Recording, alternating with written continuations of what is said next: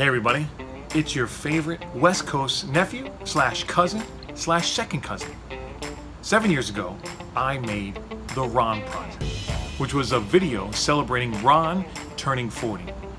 Now many of you contributed to that, which made it awesome, made it amazing. And I remember looking around that day and thinking to myself, wow, we have a pretty amazing family. My clever wife once said, you know, McHugh, like it's a religion. That sentiment has always stuck with me.